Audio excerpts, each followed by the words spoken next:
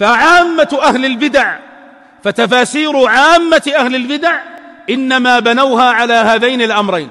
على الجهل بالمعنى الصحيح بالنصوص لا سيما النصوص التي تتكلم عن العقائد في أسماء الله وصفاته أو في الملائكة أو في الجن أو في الصحابة. ويغمر ذلك ويكتنفه الجهل عفوا شدة البدعة وقوتها. وراء ذلك شدة البدعة وقوتها والعياذ بالله. فإذا أطبق العلماء على أن القول على الله بلا علم من أعظم المحرمات. فلا يجوز لك أيها الطالب أن تبادر أن تباشر تفسير شيء من كلام الله إلا وأنت على علم ودراية بما تقول وما تنقل وما تكتب وما تسمع غيرك. لأن الكذب في التفسير كذب على الله.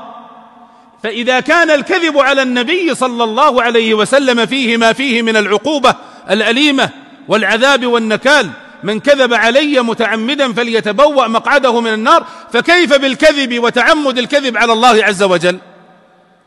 فإذا القول على الله عز وجل بلا علم من أعظم المحرمات لا سيما في التفسير لأنك تريد أن تبين في التفسير كلام الله ومراد الله ومقصود الله عز وجل من هذه الآية. فكيف تتكلم بلا علم؟ كيف توقع عن الله عز وجل مراده وأنت غير عارف بحقيقة ما تقول؟ فلا ينبغي أن تحملك المجاملات أن تتكلم بلا علم. ولا ينبغي أن يحملك حفظ مكانتك أن تتكلم بلا علم.